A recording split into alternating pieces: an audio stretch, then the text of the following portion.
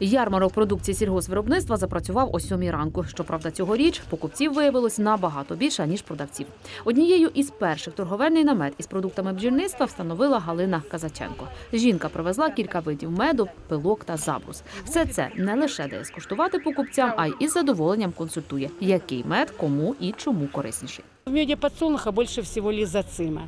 Он чистит сосуды, выводит радиацию, укрепляет сердечную мышцу и э, лечит желудок и все. То есть людям, страдающим, э, перенесшим инсульты и инфаркты, нужно употреблять мед подсолнуха. Поруч із запашним медом торговельний кіоск Красноармійського хлібозаводу. Значного ажіотажу біля нього не було, хоча підприємці намагались представити чи не увесь асортимент продукції. Мы сегодня представляем торговую марку «Золотой урожай». Э, Привезли хлебобулочную продукцию. На 16 наименований хлеба, булочки, э, сушка, сухари с изюмом. Вкусная очень продукция. Найбільше покупців зібралось біля Івана Шишкіна, який приїхав на ярмарок аж із сусідньої Дніпропетровської області. Чоловік разом із дружиною привіз власноруч вирощені овочі: помідори, перець, баклажани та капусту, а ще кавуни і молочну продукцію. Е, Люди підходять, багато покупців. Багато. Нічого додому не веземо.